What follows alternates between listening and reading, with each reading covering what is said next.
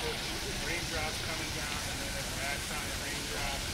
You know, it's going to be a nice effect. I've also got like ice stuff and stuff so you kind of incorporate that into the whole thing that's going on. So, we'll play around with this, then I'll get some real time stuff. I think this town, you know, thanks for like and. You know, engaging